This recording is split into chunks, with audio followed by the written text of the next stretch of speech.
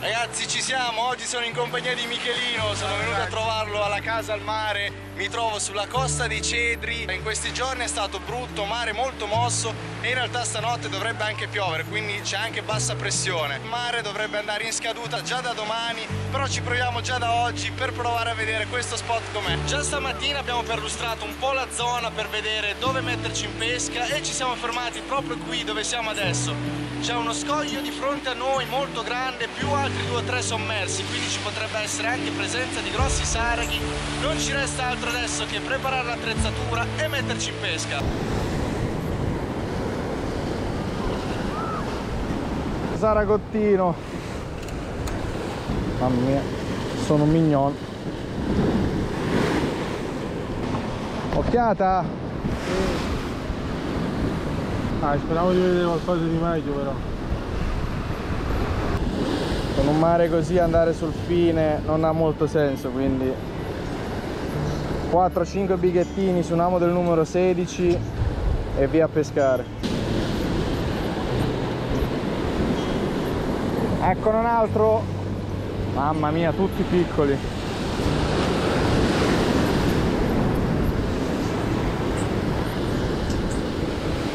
Questa mattina quando abbiamo ispezionato la zona il mare era molto più calmo. Oggi pomeriggio ce lo siamo trovati montante e quindi ci stiamo trovando un po' in difficoltà nell'approccio di pesca. Abbiamo un'attrezzatura un po' troppo light, quindi facciamo fatica a stare in pesca nella maniera corretta. Eccone un altro. Mamma mia, ma è pieno, pieno, pieno. Pieno. Ce ne sono una quantità industriale di questi qui.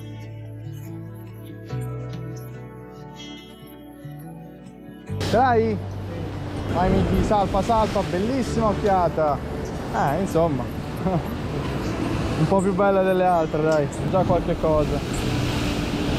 Vai Miki! Altra occhiata!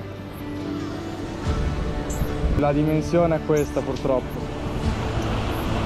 Vai, vai, rilasciamo. Eccolo! Eh, prima occhiata. Occhiatina.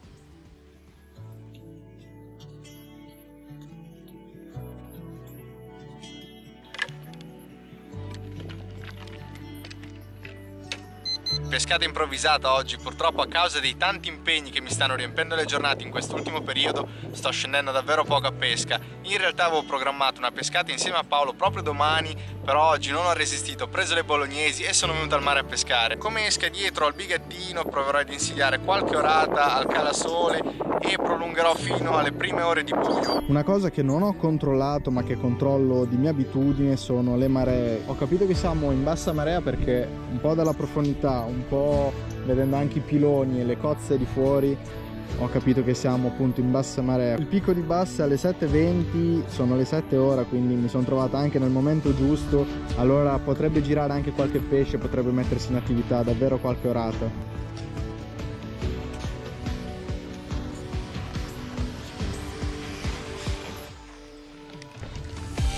Eccolo ragazzi, eccola, eccola, eccola, eccola, eccola, ce l'ho, ce l'ho, ce l'ho, ce l'ho, ce l'ho, ce l'ho, ce l'ho. Eh, sembra anche un bel pesce. Sembra anche un bel pesce. Ah, bella orata.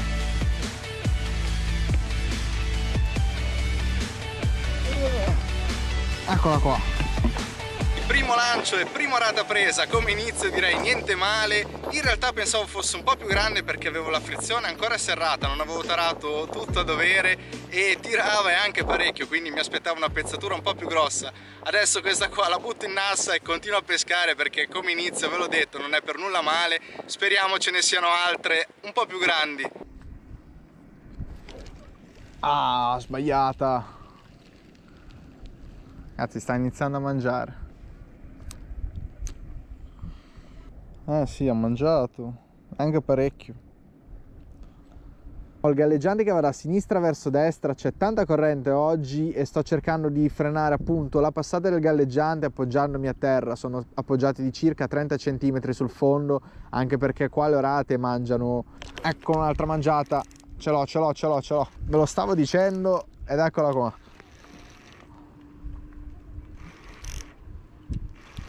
Eh, dovrebbe essere un'altra rotella, questa è proprio piccina, mamma mia. questa rispetto a quella di prima è davvero piccolissima. Quello che stavo cercando di dirvi prima che ferrassi era appunto questo, cioè che l'orata mangia con l'esca ferma, quindi sto cercando di tenere i bighettini più fermi possibile sul fondo, appoggiandomi col terminale, ve l'ho detto, sono appoggiato di 30 cm anche perché c'è corrente, quindi sto cercando di trattenere la passata in, uh, in un raggio abbastanza corto, sono su circa 10 metri di passata massimo. Eccola ragazzi, ce l'ho, ce l'ho, ce l'ho, ce l'ho, ce l'ho. È un'altra orata. Anche questa abbastanza piccola. In realtà speravo che con la prima orata la taglia al posto di diminuire aumentasse, ma invece qua stiamo andando al contrario, quindi sono davvero piccole, mamma mia. Eccone un'altra, eccone un'altra, eccone un'altra. Anche questa sembra... Questa non è grande come le ultime, eh? sembra un po' più bellina. E forse va anche guadinata questa.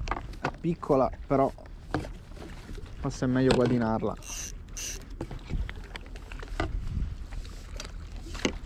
Eccola qua.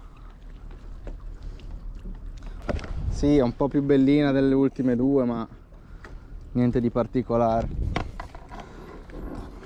Eh niente, stiamo andando al contrario, al posto di aumentare la taglia sta andando a diminuire.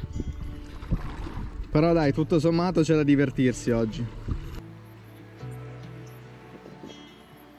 Insieme al sole se ne sono andati anche i pesci.